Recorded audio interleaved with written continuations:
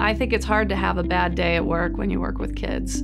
Every kid is so unique and different and full of joy. From a medical surgical standpoint, the kinds of conditions that we treat are just very interesting, and it's nice that we can really make a difference and help kids um, in very tangible ways. And so that's why I like pediatric urology.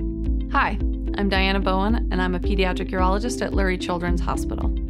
My role at Lurie is to see all general pediatric urologic patients, but in addition, I have a specific interest in complex reconstructive surgery. That generally means spina bifida patients or patients with any kind of neurogenic bladder, including exstrophy. Building relationships with patients is the number one priority, and I think it starts when you step in the door, making a patient and their family feel safe, empowered, making them feel heard, and then developing a plan with them about going forward so that everyone in the room is participating in that decision making. And I think if you develop that trust um, and they know you're genuine, then the relationship just moves forward from there.